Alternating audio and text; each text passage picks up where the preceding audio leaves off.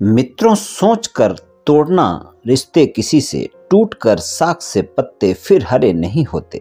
जय श्री कृष्ण मित्रों, फिर एक बार बहुत बहुत हार्दिक स्वागत है आप सभी का। आज हम बात करेंगे मेष राशि के मार्च महीने के प्रेम संबंध और वैवाहिक संबंध के राशिफल की और अंत में उपाय की चर्चा भी करेंगे। इसलिए वीडियो को पूरा अंत तक देखें व सुने। तभी आप मेष राशि वालों के प्रेम संबंध और वैवाहिक संबंध के राशिफल की पूरी जानकारी प्राप्त कर पाएँगे। ये राशिफल चंद्र राशि पर आधारित है, यानी मून साइन पर। जिन लोगों को अपनी राशि नहीं पता है, वो लोग अपनी जन्म कुंडली में ये देख लें कि चंद्रमा उनकी किस राशि में है। जिस राशि में चंद्रमा है, वही उनकी राशि है, जिनके पास जन्म कुंडली नहीं है। वो अपने नाम के पहले अक्षर से अपनी नाम राशि जान सकते हैं और ये राशिफल अपनी नाम राशि से देख व सुन सकते हैं। तो चलिए मित्रों, शुरू करते हैं। सबसे पहले मेष राशि वालों के प्रेम संबंधों की बात करेंगे। मेष राशि वालों के प्रेम संबंधों की बात करें तो पंचम भाव के जो स्वामी हैं, वो सूर्यदेव हैं, जिनका गोचर 15 मार्च से मीन राशि में होगा। इससे पहले वो कुंभ राशि में रहेंगे, शनि के साथ युति करेंगे। कुंभ राशि के स्वामी शनि हैं, दसम भाव और एकादश भाव के स्वामी शनि का गोचर पूरे महीने एकादश भाव में ही रहेगा। बारहवें भाव के स्वामी गुरुदेव और भाग्य भाव के स्वामी हैं गुरुदेव, और बारहवें भाव में ही, मीन राशि में ही पूरे महीने गोचर करेंगे। और आपके जो राशि स्वामी मंगल हैं, उनका गोचर दो राशियों में होगा। पहले तो तेरह मार्च तक वो वृषभ राशि में और तेरह मार्च से वो मिथुन राशि में तीसरे भाव में गोचर करेंगे। तो यहाँ पर शुक्र का गोचर भी देख लेते हैं तो 12 मार्च से मेष राशि में जाएँगे, यानी आपकी राशि में ही गोचर हो जाएगा। इससे पहले उनका गोचर मीन राशि में रहेगा, जो कि आपके सप्तम भाव के और दूसरे भाव के स्वामी हैं। तो यहाँ पर कुछ इस तरह की ग्रह गोचर स्थिति रहेगी और बुध का गोचर भी देखते हैं, जो कि तीसरे और छठे भाव के स्वामी हैं। 16 मार्च से वो भी मीन राशि में जाएँगे और इससे पहले वो कुंभ राशि में रहेंगे। तो प्रेम संबंधों के लिए मिला जुला महीना रहने वाला है, मेष राशि वालों के लिए और मेष राशि वालों के लिए जो 15 मार्च तक का समय है, वो ज़्यादा बेहतर समय रहने वाला है प्रेम संबंधों में। और 15 मार्च के बाद का जो समय है, वहाँ पर भी रोमांच आपका बढ़ा रहेगा, लेकिन छोटी छोटी बातों को लेकर वाद विवाद भी हो सकते हैं। तो इस बात का थोड़ा सा ध्यान रखकर आपको चलना होगा प्रेम संबंधों में। प्रेम संबंधों में इस बात का विशेष ध्यान रखकर चलना है, क्योंकि शनि और सूर्य की युति होगी एकादश भाव में, और दृष्टि भी दोनों की पंचम भाव पर रहेगी। तो आप में अहम भी बढ़ा रहेगा और क्रोध भी बढ़ सकता है, व्यर्थ के बाद विवाद भी बढ़ सकते हैं, इस बात का ध्यान रखें। लेकिन फिर भी अगर हम कुल मिलाकर देखें तो प्रेम संबंधों में 15 मार्च तक का समय जो है वो बेहतर परिणाम दिखाएगा। और अगर आपके प्रेमी प्रेमिका के साथ किसी भी तरह का कोई बात विवाद चल रहा है तो उसे दूर करने का प्रयास भी आप कर सकते हैं और वो प्रयास भी आपका सफल हो सकता है। हालाँकि सप्तम भाव के स्वामी शुक्र का जो गोचर है, वो बारह मार्च से आपकी राशि में आएगा, लेकिन वहाँ पर राहु का गोचर भी है। तो अगर हम देखें तो प्रेम संबंधों में रोमांस रहने वाला है, अगर आपके पुराने प्रेम संबंध हैं तो ये महीना रोमांटिक रहने वाला है। आपकी मुलाकातें भी हो सकती हैं और रोमांस भी ज़्यादा हो सकता है। नए प्रेम संबंध हैं, पूरे महीने रोमांटिक बातें होती ही रहेंगी और रोमांस से भरा महीना रहेगा और 12 मार्च तक मेष राशि में 12 मार्च से मेष राशि में शुक्र का गोचर होगा और इससे पहले वो मीन राशि में रहेंगे। वहाँ पर उच्च के होकर गोचर करेंगे, गुरु के साथ युति करेंगे। तो यहाँ पर अगर हम देखें तो कुल मिलाकर पूरे महीने की जो ग्रह गोचर स्थिति है तो प्रेम संबंधों के लिए महीना रोमांटिक बहुत रहेगा।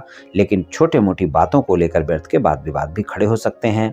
वाणी पर संयम अवश्य रखना होगा, क्योंकि आपके राशि स्वामी जो मंगल हैं, वो अष्टम भाव के स्वामी भी हैं और उनका बाणी के भाव में तेरह मार्च तक गोचर है। तो यहाँ पर आपकी बाड़ी में उग्रता देखने को मिल सकती है और उसके बाद उनका गोचर मिथुन में होगा, तीसरे भाव में होगा। हालाँकि मंगल के तीसरे भाव में गोचर के परिणाम अच्छे होते हैं, लेकिन ज़्यादा उत्साह में आकर आप कोई ना कोई ऐसी बातें कर सकते हैं जिससे वाद विवाद देखने को मिल सकता है। तो थोड़ा सा आप ध्यान रखेंगे प्रेम संबंधों में, ना तो गलत फहमियाँ बढ़ने देनी है, ना वाद विवाद करना है, क्योंकि राहु आपके प्रथम भाव में है तो गलत फहमियाँ भी बढ़ सकती हैं। और ना ही आपने क्रोध करना है। अगर आप इन बातों पर नियंत्रण रखेंगे तो आप देखेंगे कि प्रेम संबंधों में काफ़ी अच्छे परिणाम दे, देखने को मिलेंगे क्योंकि रोमांटिक महीना है रोमांस रहेगा मुलाकातें रहेंगी और नए हों या पुराने हों प्रेम संबंध अच्छे ही रहने वाले हैं।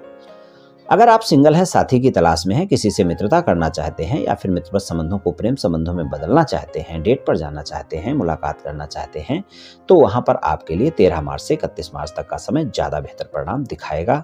और अगर आपका कोई वाद विवाद चल रहा है, अपने प्रेमी प्रेमिका के साथ तो वहाँ पर अगर आप वाद विवाद समाप्त करना चाहते हैं तो वहाँ पर पूरा महीना अच्छा है, लेकिन पंद्रह मार्च तक का समय वहाँ पर ज़्यादा बेहतर है। वहाँ पर आपको आसानी से सफलता मिल सकती है। और जो सिंगल लोगों की बात अभी मैंने की थी, अगर वो प्रस्ताव देना चाहते हैं तो उनके लिए जो समय है, वो तेरह मार्च से ज़्यादा बेहतर समय रहेगा। हालाँकि पूरा महीना अच्छा है, आप ध्यान रखें, लेकिन तेरह मार्च से क्या है कि तीसरे भाव में आपके राशि स्वामी का गोचर है तो यहाँ पर आपको आसानी से सफलता मिल सकती है। लेकिन अगर हम देखें तो पूरा महीना आपके लिए अच्छा ही रहने वाला है, प्रस्ताव तो आप पूरे महीने दे सकते हैं, और अगर आप क्रोध पर नियंत्रण रखेंगे तो आपका प्रस्ताव स्वीकार भी किया जाएगा। तो साथी की तलाश मेष राशि वालों की मार्च के महीने में पूरी होती हुई दिख रही है। और अगर बात विवाद चल रहा है, कोई नो कॉन्टेक्ट सिचुएशन चल रही है तो उसे भी दूर करने का प्रयास आप कर सकते हैं। और उसके लिए जैसा मैंने आपको बताया है कि 15 मार्च तक का समय ज़्यादा बेहतर है तो वहाँ पर आपको ज़्यादा अच्छे परिणाम देखने को मिलेंगे, यानी यानी आपका साथी आसानी से मान सकता है। और जिन बातों को लेकर कोई छोटे मोटे वाद विवाद हुए हैं, उन बातों को स्पष्टता से सुलझाएँगे तो बातें बन जाएँगी और आपका साथी दोबारा से संबंधों में आ जाएगा। और प्रेम संबंधों को अगर विवाह संबंधों में बदलना चाहते हैं तो वहाँ पर ज़्यादा प्रयास करने की आवश्यकता होगी, तभी आपको सफलता मिलेगी। वहाँ पर आसानी से सफलता मार्च के महीने में मिलती हुई नहीं दिख रही है। और अपने वाद विवाद में तीसरे व्यक्ति की एंट्री ना दें, इस बात का भी थोड़ा सा ध्यान रखकर चलें। और अगर आपका साथी मेष राशि का है और आपका सिंह राशि का है और धनु राशि का है तो आपको प्रेम संबंधों में ज़्यादा अच्छे परिणाम देखने को मिलेंगे और आपके साथी के साथ मधुरता भी ज़्यादा रहेगी। चलिए वैवाहिक संबंधों की बात करते हैं तो सप्तम भाव के स्वामी शुक्र हैं और शुक्र का जो गोचर है, वो बारह मार्च से मेष राशि में ही हो जाएगा। इससे पहले मीन में रहेंगे।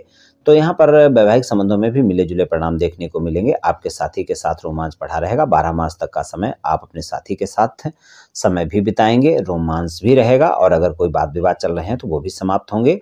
और 12 मार्च से जब वो राहु के साथ युति करेंगे आपकी राशि में तो संबंध और भी मज़बूत होंगे और आप दोनों के संबंधों में और भी रोमांस बढ़ेगा। यानी पूरा महीना रोमांटिक रहने वाला है। वैवाहिक संबंधों में आपको अच्छे परिणाम मिलने वाले हैं, जीवन साथी के साथ समय भी बिताएँगे और कहीं घूमने फिरने का प्लान कर सकते हैं या जा सकते हैं, वहाँ पर संबंध भी मधुर होंगे।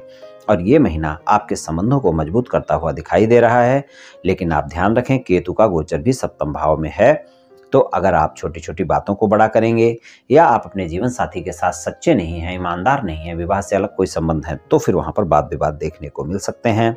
इसलिए वैवाहिक संबंधों में इस बात का ध्यान रखकर चलें कि आप अपने जीवन साथी के साथ ईमानदार रहें और जीवन साथी की छोटी छोटी बातों को बड़ा ना करें और उसकी बातों को सुनने का प्रयास भी आप करेंगे तो आपके लिए अच्छा रहेगा। और अगर कोई बात विवाद हैं तो वो आपके समाप्त हो जाएँगे स्वतः ही, और अगर नहीं समाप्त होते हैं तो 12 मार्च से इकतीस मार्च के बीच का समय जो है अच्छा है, वहाँ पर आप प्रयास करें, आपके वाद विवाद समाप्त हो सकते हैं, और आपको जीवन साथी के साथ संबंधों में दोबारा से आप देखेंगे कि आपकी मधुरता होती हुई दिखेगी। तो वैवाहिक संबंधों में अच्छे परिणाम ही मिलने वाले हैं, और जीवन साथी के साथ संबंधों में काफ़ी मधुरता भी देखने को मिलेगी और प्रेम संबंध और वैवाहिक संबंध के लिए मेष राशि वालों के लिए महीना अच्छा ही रहने वाला है। उपाय की बात करें, मंगलवार वाले दिन हनुमान चालीसा का पाठ करें, हनुमान जी की पूजा उपासना करें, आपको बहुत अच्छे परिणाम देखने को मिलेंगे और अगर ये नहीं कर सकते हैं तो रविवार वाले दिन सूर्य भगवान को तांबे के लोटे से जल अर्पित करें, रोज़ाना करेंगे तो बहुत अच्छा रहेगा। और अगर रोज़ाना नहीं कर सकते हैं तो कम से कम रविवार को अवश्य करें और रविवार को ही श्री आदित्य हृदय स्त्रोत का पाठ भी करें, या सुने। तो इससे भी आपको काफ़ी लाभ देखने को मिलेगा। तो ये उपाय आप कर ले, मित्रों, निश्चित ही आपको लाभ मिलेगा। तो मित्रों, आज मैंने आपसे मेष राशि वालों के मार्च महीने के प्रेम संबंध और वैवाहिक संबंध के राशिफल के बारे में कुछ चर्चा की। ये राशिफल सामान्य राशिफल है, सभी जातकों पर पूर्ण रूप से प्रभावी होगा, ऐसा संभव नहीं है, क्योंकि आपकी जन्म कुंडली पर भी बहुत कुछ निर्भर करता है। आप सभी स्वस्थ रहें, आयुष्मान रहें, धनवान रहें, ऐसी मेरी श्री कृष्ण भगवान से प्रार्थना है। जय श्री कृष्ण